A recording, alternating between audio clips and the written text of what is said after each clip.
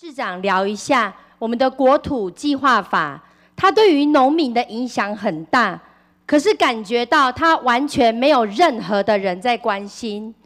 目前的国土计划法本来一一二年要执行，已经延后到一一四年了，但是呢，我们所有国民党的立委都建议再延。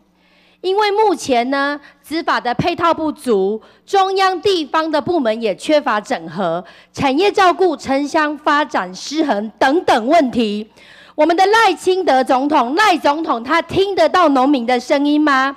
口口声声说人民做主，人民最大，但其实只是口号治国。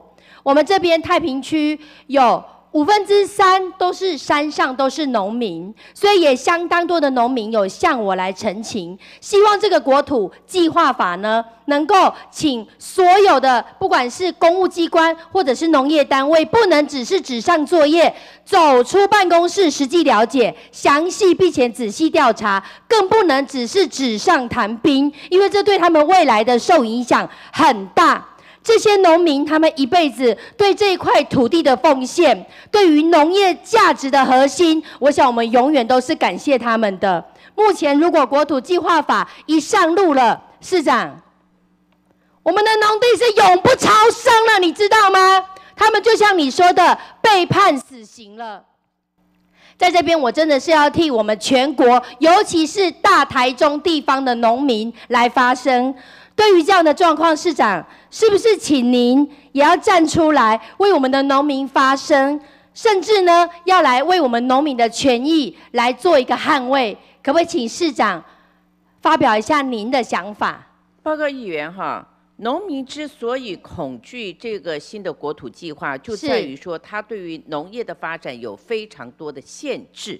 对，那你限制他，你又不补偿他，那所以农民当然说。那你你为了国土计划，那把我做限制，那请问我的损失那怎么办呢？谁来补偿？甚至将来如果我的家庭没有人要再继承农业的话，是，那我这块地永远还是被限制不能发展。对，所以农民的反弹在这里。那最近为什么我相信好几个议员问到这个问题，大家反弹更大？是因为原住民的禁伐条例不补偿，对，那导致这些农民。更害怕，因为原住民现在他们因为禁止伐木，对，那所以禁止伐木的情况之下，政府你禁止他，那他怎么为生？你政府要补偿他。可是最近立法院就为了这个事情总预算哈，那这个啊希望他们再修正。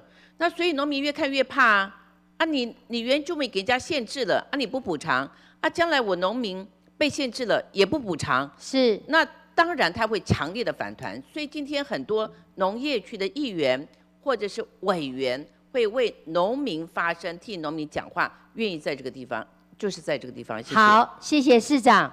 就像市长讲的，我们也听到高新素梅委员说的“禁法补偿”这四个字，这本来就应该给原住民，我们所有的族人，这也不能叫做补偿。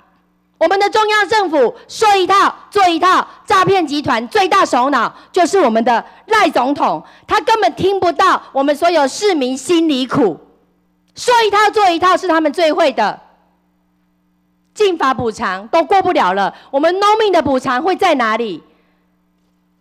我们的刘世芳部长说，我们多沟通，我们继续沟通，这一切都没有沟通，没有沟通的国土计划要如何上路？所以我想，这一切目前呢，我们全台湾有九个县市，尤其是我们台中也是非常多的农业用地，农民也非常多。所以我希望这一块市长还是要来全力，能够帮忙我们所有的农友们。这个中央能够拿出补偿办法来，啊，那你现在说要配套要沟通，啊，你没有补偿办法，啊，怎么跟大家沟通？因为他不知道他将来会。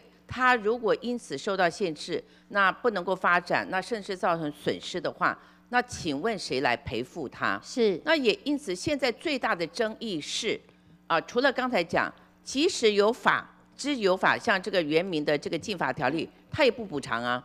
那你现在更何况没法，也没有补偿，啊，那所以没有这个方案，农民当然不肯啊。谢谢。我们要求对地补偿，如果好，谢谢。